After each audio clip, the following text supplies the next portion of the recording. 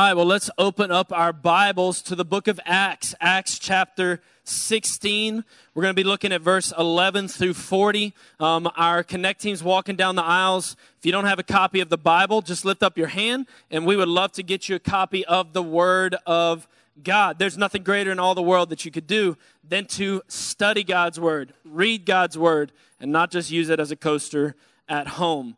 We're jumping into a new section within the movement section. We've been studying the book of Acts all year. Pastor Brick did an unbelievable job talking about why cities matter. And this is setting up now our next portion of our journey in the book of Acts. Can you all thank God for Pastor Brick real quick and all that he does for us? Um, really and truly, like, man, I'm just so thankful to work with such an amazing team that is knocking it out. From Josh to Robert to, I better not, you know, name names, Danny with our Revolution ministry across the board. Dad gum, Danny, you've trained them up well, dude. Like, I just need the Revolution to follow me around everywhere. Could y'all just follow me around everywhere? Just say the revolution, you're excited all of a sudden. Like you could be a Debbie Downer, but you say revolution, all of a sudden you, you hear a bunch of crazy talk, all right? But we're excited. Man, God's doing some awesome, awesome things all over. And as we jump in, we talked about why cities matter. Now we're looking at for the city section, where Paul and Silas journey on their second missionary journey and the holy spirit remember paul received the macedonian call? He said i want to go this way. The holy spirit said nope. So the holy spirit sometimes closes doors when you're finding out god's will for your life. Ask for god to close doors as much as you ask for him to open doors right? So the holy spirit closed that door and said no you're headed to Macedonia. So we're going to be looking at Philippi, which is the first city that Paul lands at. And this is an unbelievable city. We're also going to be looking at cities along the way. And, and God is just doing something unbelievable. I'm going to share with you at the end of our gathering about um, our new location and uh, that we are going to be worshiping at as a church family. For those of you who don't know, uh, Rock and Bowl is kind of coming to an end at the end of the month. And uh, this will be our seventh move in seven years since we planted this church uh, in me and my wife's living room seven years ago. And uh, so we love moving. You know, our slogan should be we're a cool church if you can find us. Um, but, uh, you know, we, we are on the move again, and I'm going to share with you some, some incredible things. Our team started to pray about okay, well, what, what should we do? Should we do a sermon series? Should we be doing. No, like the book of Acts, guys. I'm telling you, I couldn't have written this better. So our new location is going to be on August 3rd. On July 27th, I preach about Paul in the city of Corinth. Literally, Paul gets kicked out of one location and he has to go to another location. I couldn't have planned that. Like, I mean, so we're just going to keep plowing. And we're in this for the city section. Now, before we jump into the text, let me share with you some reasons why people live in the city. Maybe some of you guys are here, maybe you're driving through, whatever else. Pastor Brick talked with us about why cities matter last week and did an incredible job talking about our purpose in the city. Um, let me share with you some things. And this really comes out of the text that we're going to be walking through in Acts chapter 16. The first thing is this people live in the city because they're on a spiritual pursuit. They're on a spiritual pursuit. Most people flock into the city, and yes, some people in the name of religion as you can testify around the world today, people flock to these urban centers to worship God or to worship in whatever form of religion. But I also want you to know what you find in the cities. Let's just talk from a completely unspiritual realm here. People are searching for fulfillment. And they come into the city, and because the city provides a whole bunch of different things to try and find that thing spiritual pursuit. Number two, practical need. People live in the city because of practical need. The homeless population in New Orleans is one of the greatest in all the nation. Most people flock here because they can receive a lot more than they could if they were in rural places. Practical need can also be in terms of just some of the things that we like. We know that if you live in the city, you don't have to drive six miles to find the closest grocery store. You, you, you don't have to go far in order to, to try and find an event. I mean, there's 7,455 festivals here, okay? I'm sure there's one right now as we're talking. You know, there's t- tons and tons of things to do. So we know that there's practical need in a city. Why also do people live in the city? Abundant opportunity. Abundant opportunity. Most of you are in the city of New Orleans because of work, because of your career. In the city, you have an opportunity because there's such a huge, wide variety of opportunities in work, in your vocation. There's abundant opportunities. Then, lastly, and this is going to parallel the text that we're walking through, people live in the city because of major impact. Major impact. The Holy Spirit began to align Paul to these cities because when you reach the city, you impact the world. In the same way, whatever business you're in or whatever else, we've got companies flocking in from all over the world who are coming into the city of New Orleans because this is an incredible urban, global center of influence. If you make a name for yourself in the city, you impact the world.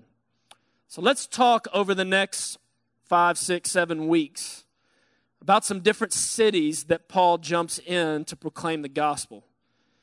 Because what I'm praying for is that we as Vintage Church would so impact this city for the gospel of Jesus that what would rain out throughout all the world would be the gospel of Jesus Christ. And I pray that as we look at these different cities, I pray that we would begin to apply a lot of what we learn into our own city asking for the Lord to multiply his amazing gospel. So let's look at this text together. Acts chapter 16, verse 11 and 12 as we start out. So, setting sail from Tville, I've stopped trying to say these words. This is Tville. We made a direct voyage to Sville, and the following day to Neapolis. I can say that word.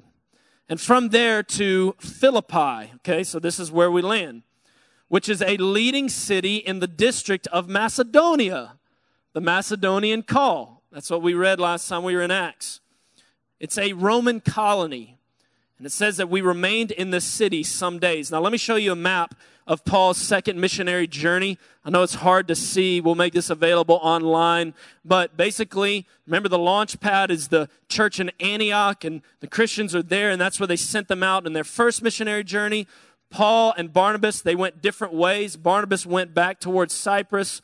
Paul ends up going northwest and he travels through places like Galatia and Asia and he comes to Tville right there on the coast. He gets into a boat.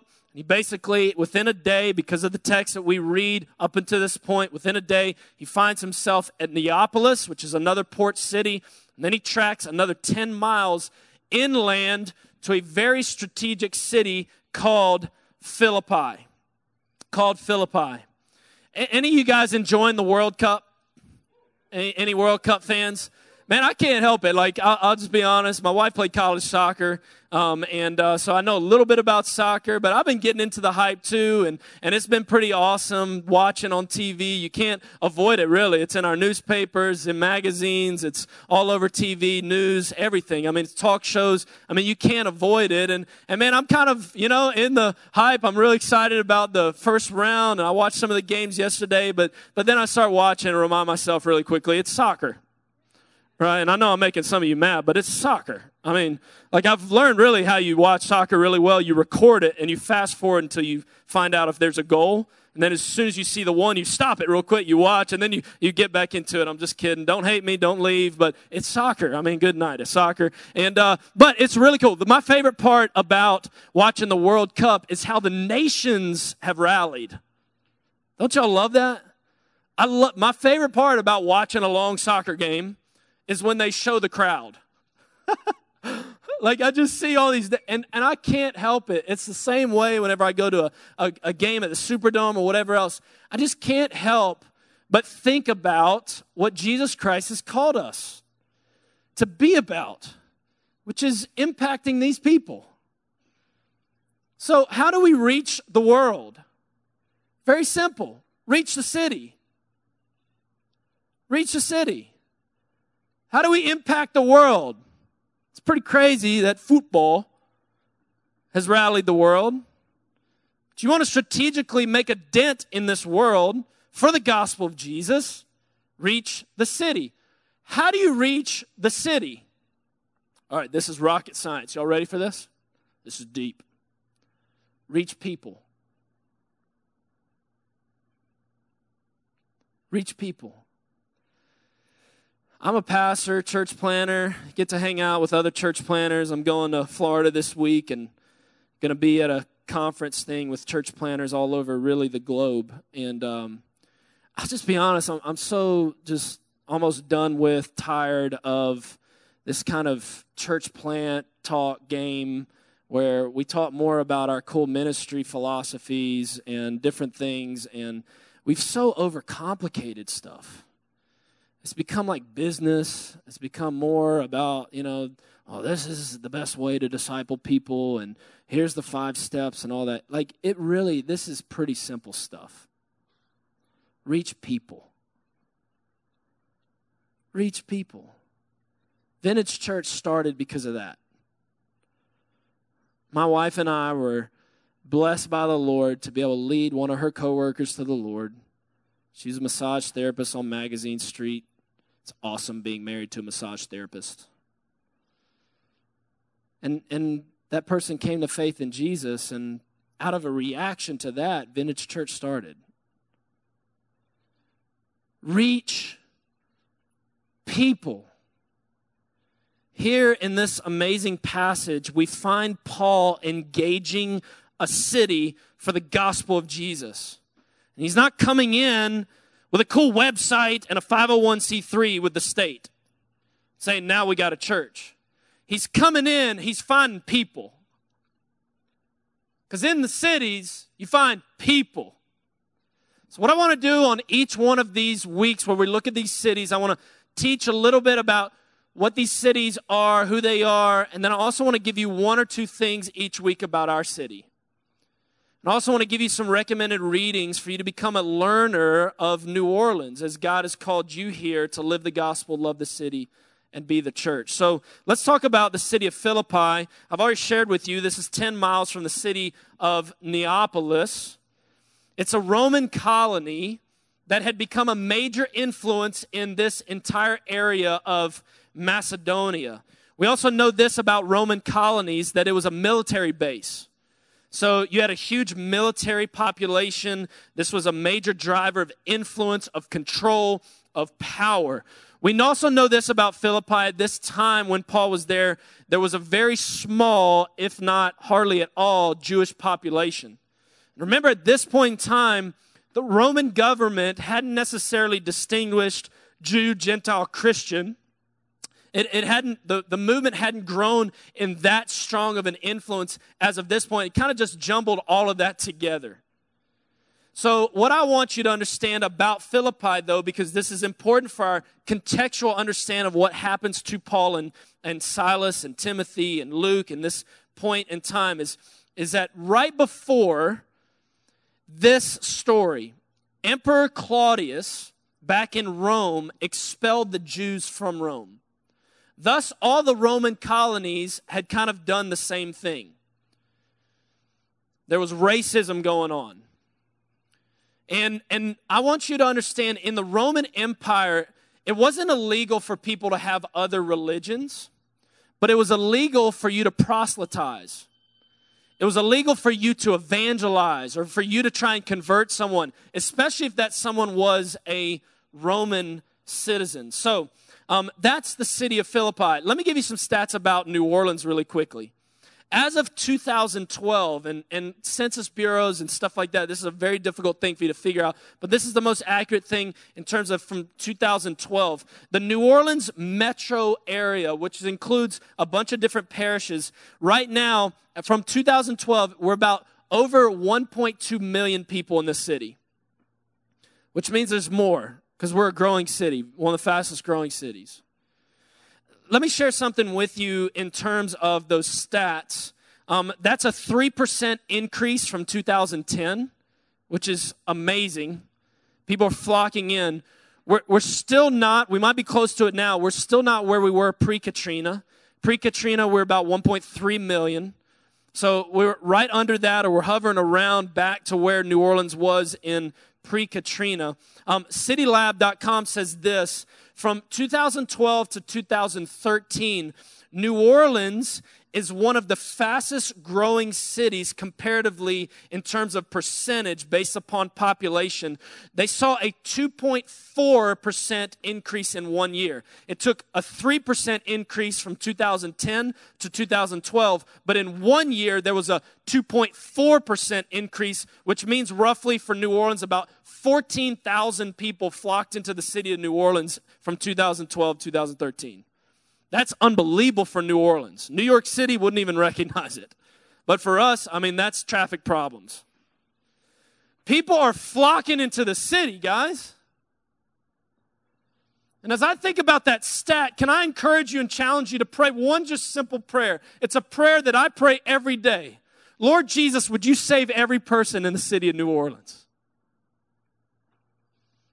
After Katrina, when I was sitting watching a television, watching the city drown, God confirmed upon my life, upon my wife's life, a call to this city called New Orleans. People thought I was crazy, but I believe with all my heart we were coming back. We were going to come back stronger. And because there were people here, God was now giving me a burden to reach people, not plant a church, not climb some sort of success ladder, but to reach people because I believe with all my heart you reach the city of New Orleans, you impact the world. You just do.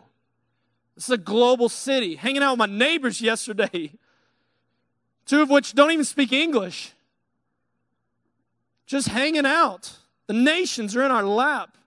Here's the thing that I, I can't prove this to you, but just living here for most of my life, this is what I believe about that stat. If there's roughly over 1.2 million people in this city, I believe that we could be looking at over a million people in this city that don't know Jesus.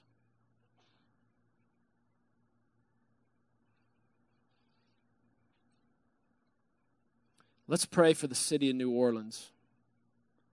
Let's pray and ask for every person to be saved. I've also been reading a book. Pastor Britt gave me a book on my vacations called The Inevitable City by the former Tulane president Scott Cowen. It's an incredible book. I highly recommend it to you because he breaks down some pre Katrina, post Katrina challenges. He, he teaches you about the makeup of this city. He talks about the racial uh, problems that we have in our city, the educational problems, but he doesn't just state problems. He states some solutions, some good things, some bad things. He also talks about the wealth of young urban professionals who are flocking into our city, who are kind of changing culture, bringing improvements, bringing new businesses. But he talked about how that's a challenge because we don't want to turn into Atlanta. We don't want to turn into, you know, Houston. We don't turn into these other cities that, that are around the world. We want to be New Orleans, so we've got to hold to some of the traditional elements of our city and hold to some of those unique elements of our city. And it's just a, an amazing thing. Commit yourself to pray for the city of New Orleans. Well, let's talk about reaching people in this text. Look with me here in this text. If people live in the city because of spiritual pursuit, I want to challenge you in the first place reach the seeker. Who's in this city? Called to reach people in the city. Reach, first of all, the seeker. Let me show you an example of that in the city of Philippi with Paul. In verse 13 through 15, it says this And on the Sabbath day, we went outside the gate to the riverside where we supposed there was a place of prayer, and we sat down and spoke to the women who had come together. One who heard us was a woman named Lydia from the city of Thyatira, a seller of purple goods who was a worshiper of God. The Lord opened her heart to pay attention to what was said by Paul.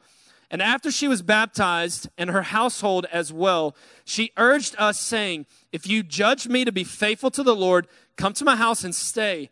And she prevailed upon us. I think it's so interesting that they had to go outside the city. They say back in history when you studied this that in order for there to be a synagogue, a Jewish synagogue, there had to be at least 10 men in order for that to happen. So the Jewish population was very, very small. So these ladies rose up and they went, maybe, I don't know, there were restrictions or whatever, but they went outside to a place by the river when Paul and Silas and Timothy and Luke and those were looking for believers or seekers, people searching for God. They'd already been preaching the gospel. Here they're going, they land at this place. And Paul rocks up and he does what Paul does he starts sharing the scriptures.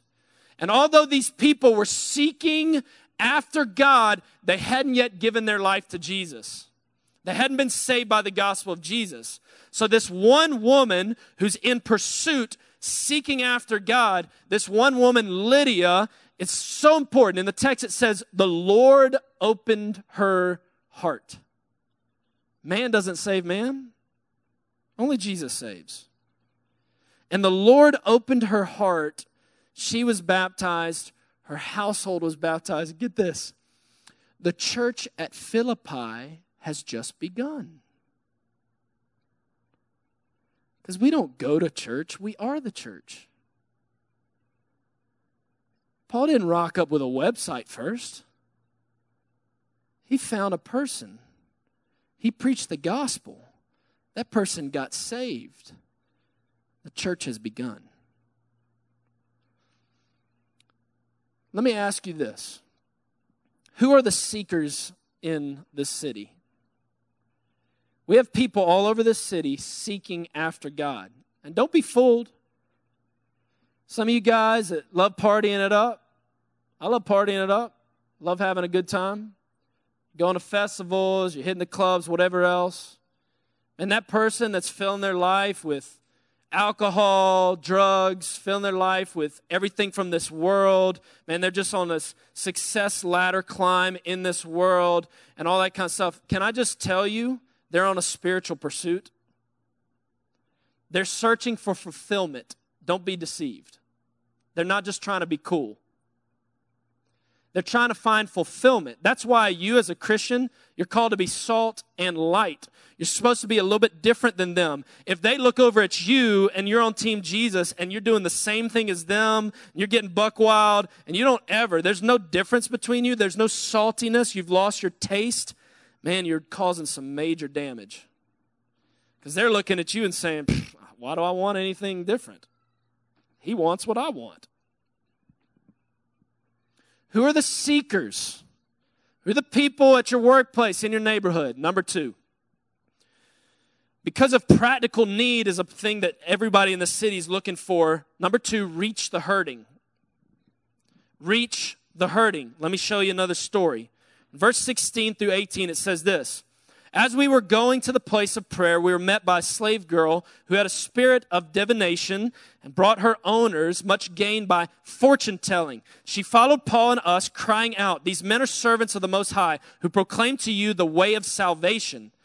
And this she kept doing for many days. Paul became greatly annoyed, turned, and said to the Spirit, I command you in the name of Jesus Christ to come out of her. And it came out that very hour. So basically, what's happening here is as Paul and Silas are still on mission for Jesus, here comes the enemy. Just believe with all your heart you're doing something for Jesus, you're a threat to the enemy. He's going to bring something to you. If you're a water boy, he ain't bringing something to you. If you're in the game, he's bringing something to you. And here, the enemy comes. How does the enemy come? By way of a slave girl who's been possessed by a demon, who through this power has the ability to tell the future. Some of you guys are like, man, that's crazy. No, it's true. God's real, and so is Satan. Heaven's real, so is hell. And there are some supernatural things that can happen under the realm of Satan to deceive people in this world away from God. And here, this slave girl, I mean, just unbelievable to think about what maybe this girl has gone through, is being used by people to make money off of this crazy gift. So she rocks up to Paul and Silas, and what does she declare? She declares something that, to be honest, probably the crowd was saying, Preach it, girl. Go ahead. In the possession of the demon, this girl yells out, These men are servants of the Most High God who proclaims to you the way of salvation. But, guys, that's how the enemy works. Y'all remember Bar Jesus? The enemy will deceive you.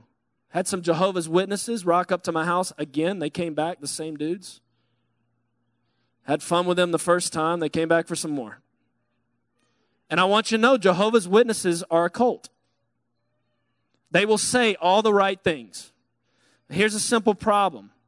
In John 1 1, according to their translation, which is whack, their translation called the New World Translation, John 1 1 is a verse that says, In the beginning was the Word. The Word was with God. The Word was God. He was with God in the beginning. Their translation says this In the beginning was the Word. The Word was with God. The Word was a God. And that simple twist speaks to the truth that they do not believe that Jesus is fully God, that he was created by God. Thus, they do not worship the same Jesus as me.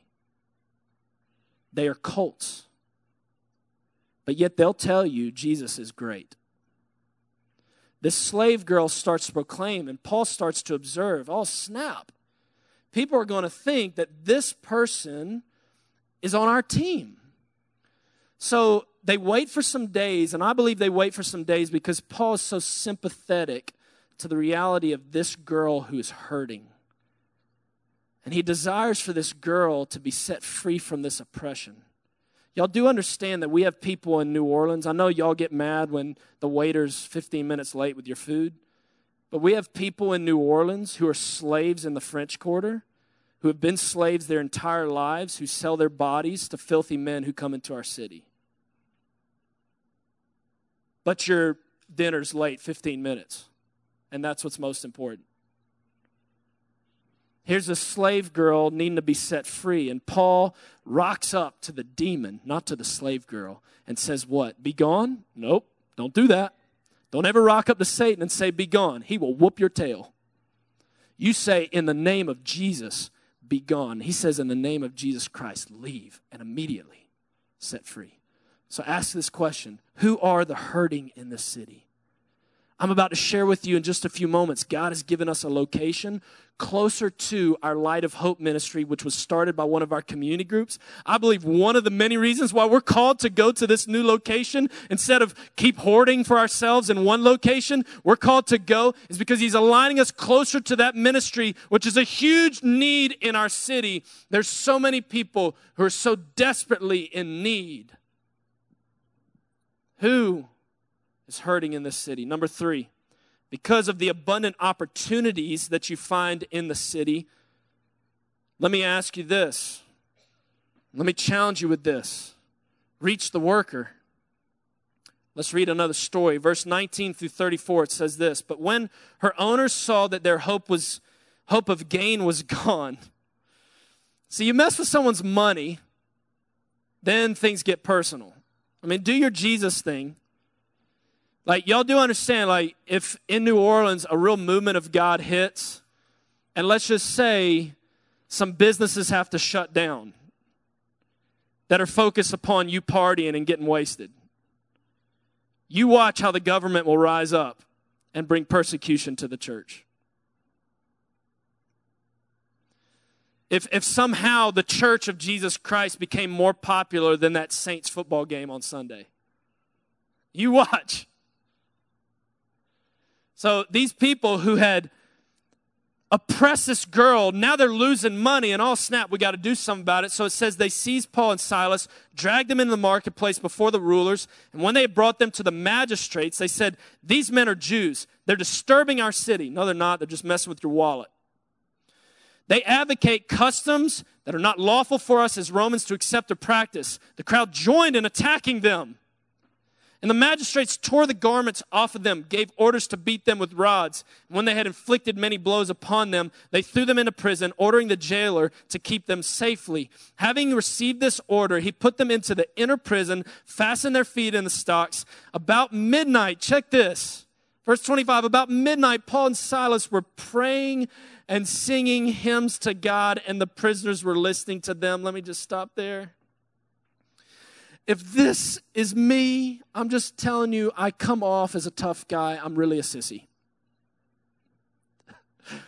Like if this was me, uh, mama, mama, come get me. Like, I mean, I've just been beat up. I'm naked, right? I'm in a jail cell. Please, Pastor Brick, where are you? You know, like I'm just, I'm just crying out, where's Robert? You know, I'm just, I'm, I'm, I'm needing some help. And these dudes are singing. Sometimes that's the greatest thing to do. There's so much power in praise. Sometimes when I'm just kind of by myself, you, you, know, you don't have to come to church to sing to Jesus. I, I like pulling out some oldies but goodies. Like God sent his son. They call him Jesus. He came to love, heal, and forgive. He lived and died to buy my pardon. An empty grave is there to prove my Savior lives.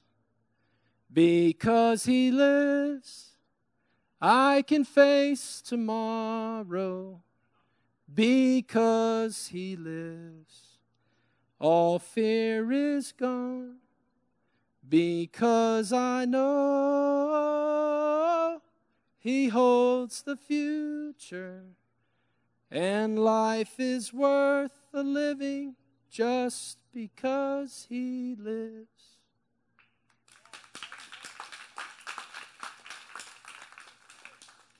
See, Paul and Silas, they weren't showing off here. They were tapping in. When things get a little rough, the workday's unsettling, life in the city's hard, sing. Hopefully, you sound better than me.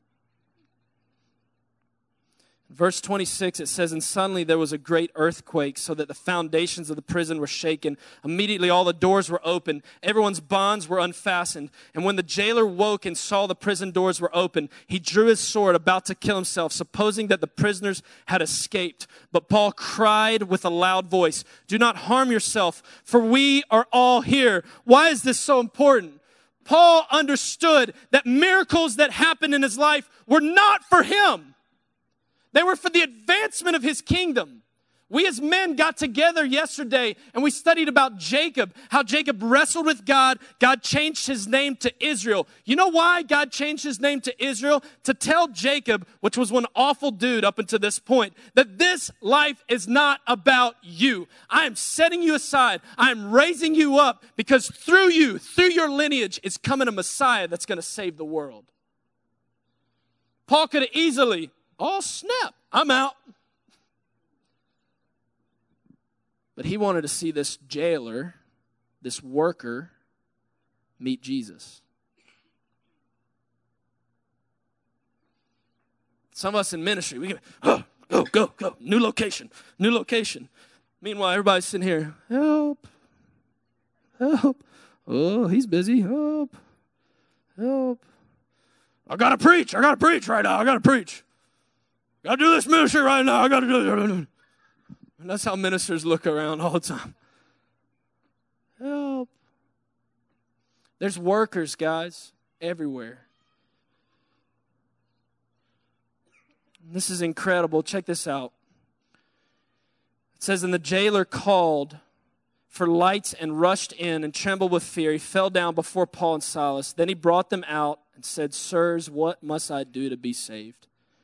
And they said, Believe in the Lord Jesus, you'll be saved, you and your household. They spoke the word of the Lord to him and to all who were in his house. He took them the same hour of the night, washed their wounds, baptized at once, he and all his family. Then he brought them up into his house and set food before them, and he rejoiced along with his entire household that he had believed in God. Let me ask you this question Who are the workers in this city? Most of you are here because of work. Who are the workers in the city that need Jesus? Lastly, because people live in the city for major impact, reach the influencer. Reach the influencer. Check out verse 35 through 40 as this story closes. It says, But when it was day, the magistrates sent police, saying, Let those men go. The magistrates were persons of influence in this society. And it says, And the jailer reported these words to Paul, saying, The magistrates have sent to let you go. Therefore, come out now and go in peace. But Paul does something a little bit unique here. He says to them, They have beaten us publicly, uncondemned men who are Roman citizens. He shows them something that's a big no no. You don't beat up a Roman citizen without a trial. And it says they've thrown us into prison, and do they now throw us out secretly? No. Let them come themselves and take us out. The police reported these words to the magistrates, the people of influence, and now the magistrates were afraid when they heard that they were Roman citizens. So they came and apologized to them, and they took them out and asked them to leave the city. So they went out of the prison and visited Lydia, the church, and when they had seen the brothers, they encouraged them, and they then departed. Why did Paul at this moment try and rise up with the magistrates? Because Paul knew he was going pretty soon and he knew he was leaving the church there to grow and thrive. And he knew that if he could influence the magistrates, that this would open up doors of opportunity for gospel proclamation. I've never met Mayor Landrieu personally. I've reached out to him a couple times, but I pray that every mayor over the next hundred years that I'm doing ministry in the city of New Orleans, he and I, she and I, we become good friends. I pray that I can love on them, encourage them, pray for them. God has given me some positions in this city, and I just know it's not for my celebrity status. There's going to be a company here next week that's going to be doing some filming in this worship service. They're coming because they've heard about what's going on with this. So don't be spooked out if there's cameras around. Got to reach the influencer. My dad is Dr. Billy Graham's pastor. One time he's hanging with him and they were kind of talking and, and Dr. Billy Graham, he loves kind of getting updates from my dad about news and current events and history. And so my dad started to share about some things and the, the government and, and all of a sudden, you know, he shares about this one decision President Obama made. And, and as he shares this decision, President Obama goes, I can't believe he didn't call me and ask for me to pray for him before that decision. My dad's like, oh no, I've just tattled on the president. So Billy Graham gets one of his staff to bring a phone. He picks up a phone, and within five minutes, he's on the phone with President Obama. My dad is freaking out. Y'all might be like, that's crazy. Go and read history. Dr. Graham has been a friend to every president no matter what belief over the years, has always committed to pray, to love, to encourage, to share Jesus. And President Obama receives from Dr. Graham this President Obama, I, I just heard, my dad's, you know, scared to death. I just heard that you made this decision. I, I thought we were going to try and at least pray about it before. I just wanted to pray for you because I pray for you all the time. And I just want you to know I love you. Reach the influencer. Who are the influencers in this city? Some of them are right here in this room. Your influence in, in that neighborhood, at that business, some I can just believe with all my heart. You had plans in coming in to consume on New Orleans and then dip into another city. God's beginning to break your heart. You're going to rise up and, yes, be a major person of influence in industry and in work and all those other different things, but you're going to be a powerhouse for the gospel. Can I share with you our next moves? How do we, as Vintage Church, reach people. We believe in gospel multiplication. This is how we describe gospel multiplication. We believe in multiplying our core values of truth, love, community, which is expressed as live the gospel, love the city, be the church. Through individuals first, because all of us are the church. We don't go to church, we are the church. Through community groups next, it's really important for us to sit in circles, to have accountability, to roll with the church family, and through gatherings.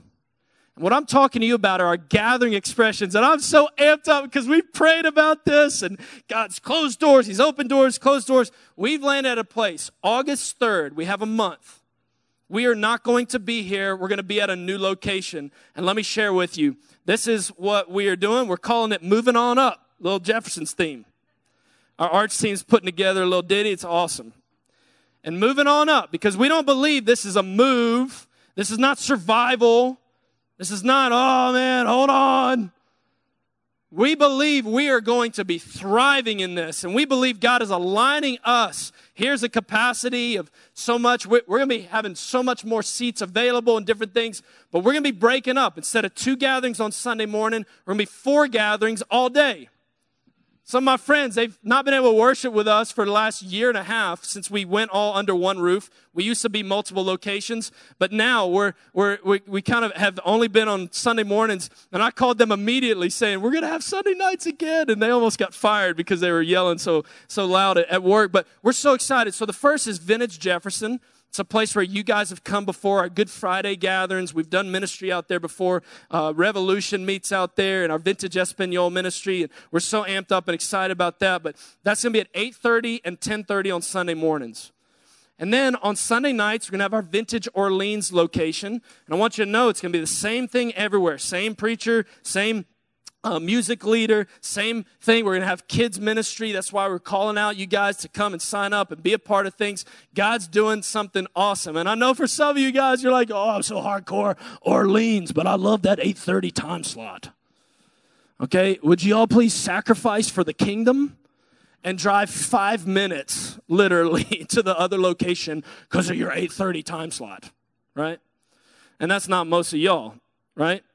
Like, maybe you're just so hardcore about the 1030. Oh, I gotta, you know, if I don't meet for worship on Sunday mornings, grandma's gonna spank me or something. You know, like I don't, like uh, she's gonna get really mad because that's that's God's hour, you know, or whatever. You know, so we're we're giving you a whole bunch of options here. Let me show you some pictures real quick.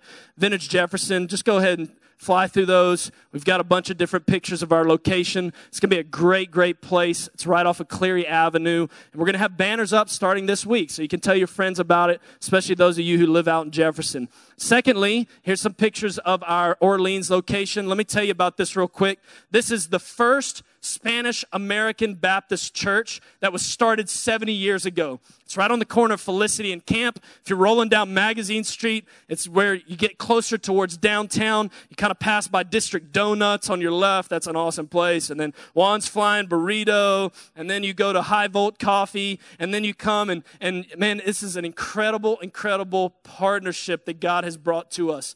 This church family two years ago is predominantly Spanish speaking, began convicted in their hearts. They started this 70 years ago, and their team started praying a year and a half, two years ago, for God to start to send someone that's doing primarily English speaking ministry because they realized that they were in a neighborhood where there's mainly English speaking people, mainly young.